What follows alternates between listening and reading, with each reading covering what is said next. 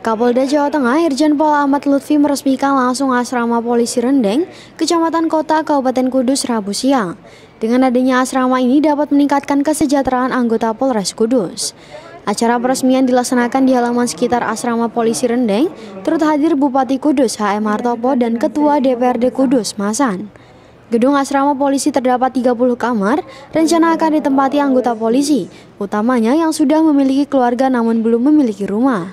Ini merupakan penjabaran prioritas Pak Kapolri yang kita akselerasi di seluruh Jawa Tengah, termasuk asrama, kemudian termasuk eh, perawatan kesehatan, kemudian termasuk pengembang-kembang lain yang berupa KPR.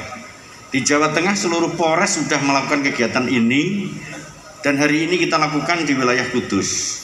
Kapolda Jateng berharap agar ke depan pembangunan asrama tersebut dapat meningkatkan kesejahteraan dan kinerja anggota Polres Kudus. Tim Liputan Cahaya TV